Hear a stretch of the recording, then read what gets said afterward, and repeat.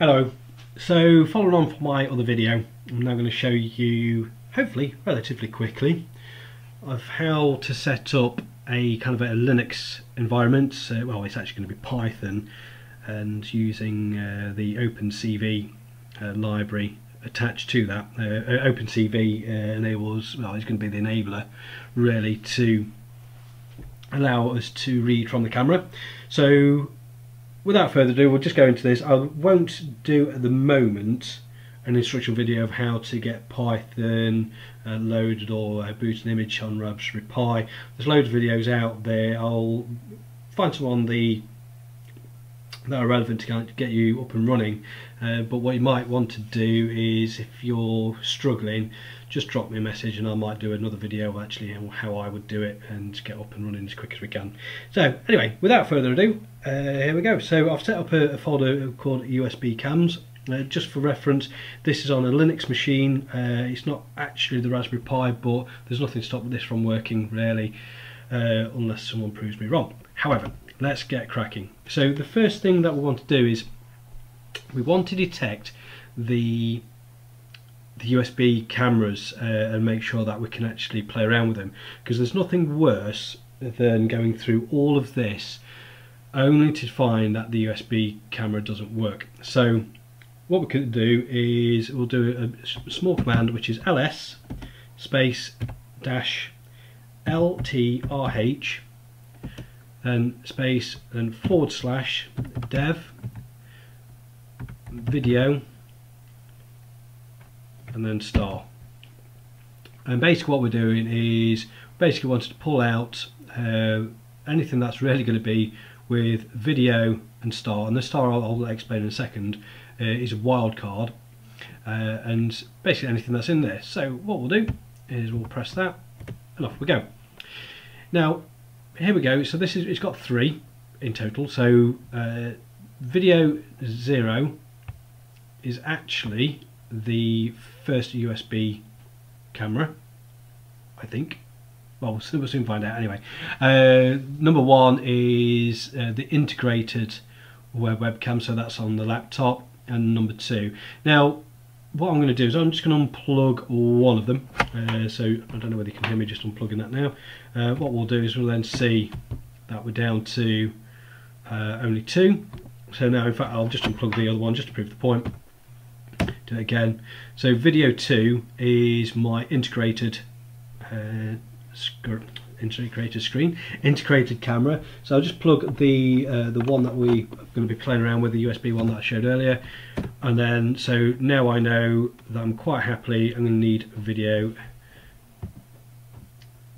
zero. So that's fine. So that's all done. So if we just uh, keep a, a mindset, it's going to be video zero. So if you want to write it down somewhere uh, on a notepad, entirely up to you. I mean, it's not going to be difficult to remember, but you know, if you want to do it that way. So what we'll do is just clear that and now what we want to do is set up our first Python uh, script. So what I'm going to do is I'm just going to do sudo nano. There's another thing called VI, uh, I can't remember what it's actually called, but I prefer doing it this way. Everyone's the same. You could use a standalone text editor, uh, but this works for me. Uh, if you follow it through this, I could almost assure you, you won't have any problems. So what we'll do is do sudo nano and we'll call it uh, we'll call it video zero for argument purposes and then call it .py.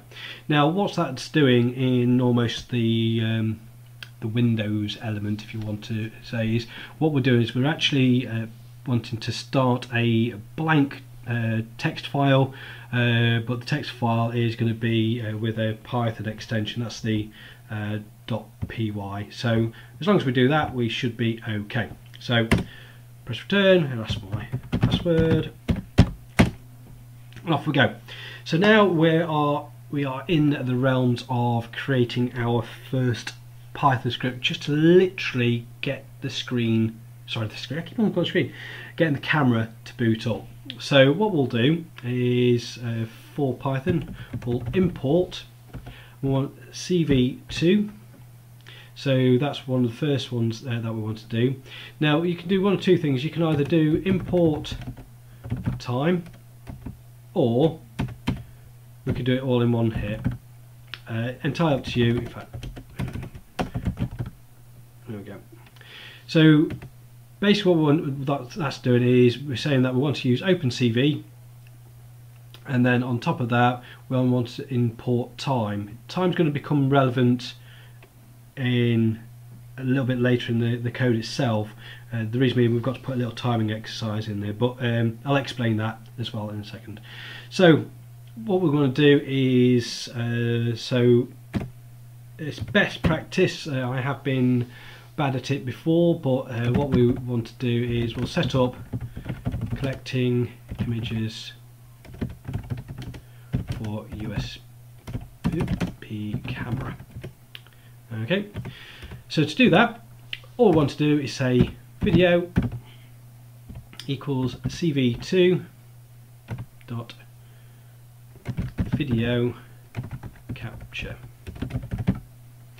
And then bracket. Now I'll leave this here for a second. So what we'll do is explain again. So what we'll do is uh, put a variable called video is equal to importing of CV2 and within CV2 the, the, library from within there is want to take out the video capture or, or bring in the video capture or get it to work. And this part here this is where you use your uh, number of the um, video reference uh, from earlier. So we had uh, 0 1 and 2 now for me I want to have 0 because that's what we want to we wrote down. So that's the first part next part what we'll do is we'll set to a variable to allow the the while statement. Okay, and now a while statement is basically saying while uh, a condition is true or false, do something. So to allow this to happen, and essentially this is going to go around in a loop, what we want to do is do a equals zero. Uh, you could put B, you could put you could put anything that you want to in there, but A is an easy one, so that's fine. Next part is what we want to do is put it together. So I press the right button. So put the video into frame. Now when we refer to a frame, a frame is essentially when you open up uh, a window like you would do a browser window or a program might pop up, uh, that, that is essentially our frame. Uh, so think of a picture frame, that's probably uh, essentially where it's all come from. So that's that. Now what we're going to do is say while true so this is where our while statement comes in so with with Python and a Linux environment uh, you have to indent the code so this next part if you press tab on your keyboard uh, it might do that green thing it might not it depends on what you've got and what we want to do is put a equals a plus, plus 1. So what we're doing is say, well, a equals a plus 1, which is 1, because a is the variable of 0. It'll always be 1. So while it's that, what we'll do is check, uh, put frame equals video dot read. And what we want what we're basically saying there is um, the, the frame that we're being pulled we're pulling in we want to read what we've got so now we want to show it so show frame and this is where what we're saying is the, the CV2 library we want to im image show that's how I'm interpreting it anyway. I will do for a little plug of mine, DIY.nightvision.com. Uh, so basically what that is, is uh, where you would have a the, the frame or window open, you would normally have something along the lines of, I don't know, for example, uh, on um, Windows you would probably have uh, Internet Explorer browser, was it 11, 12, I don't know, I haven't used uh, Internet Explorer for years or or Chrome or something like that that's what it is. And then what we want to do is say we want to bring in the frame itself. So we've created a frame up here and basically we're reading the video. We're putting the image and then showing it. So that's fine. Now next we'll put key. Key could be anything actually uh, but we'll use key. Uh, CV2 wait key 1 and the wait key element as we've pulled in time up here basically what we're wanting to do is uh, th this is this is obviously an understanding from my side is my mindset was thought that when you actually applied the video it would just read the video. But as we know if you wind back many many years these uh, films came out as individual frames one by one.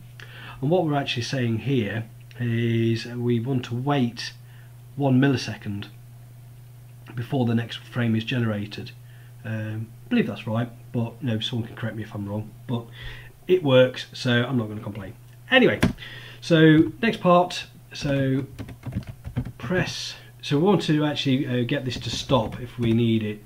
Uh, so uh, press Q will close the window. So so that's that. So basically what I want to do is put a if statement E. So key double equals ord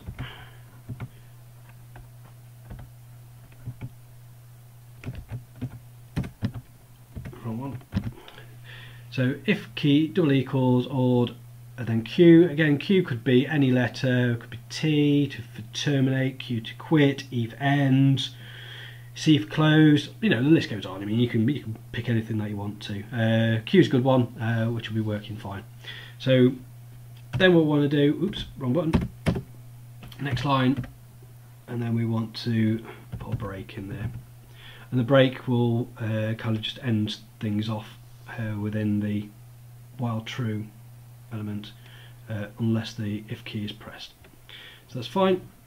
Now what we want to then do is once you do the press, once you've pressed the quit button, what we want to do is we actually want to terminate the whole kind of um, video recording element. So, so what I want to do, in fact, we to put a switch off camera once Q is pressed. So to do that, we'll do video, release,